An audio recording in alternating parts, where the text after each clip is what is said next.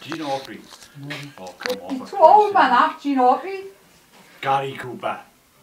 Yeah, Gary Cowboy. He bloody Of course he is. He's yeah. a famous yeah. cowboy. I, moustache, I, man. knew. I knew. You don't look like bloody Gary Cooper anyway. Charlie Chaplin.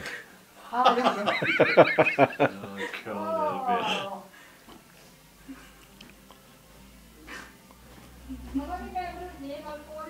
Aye, aye.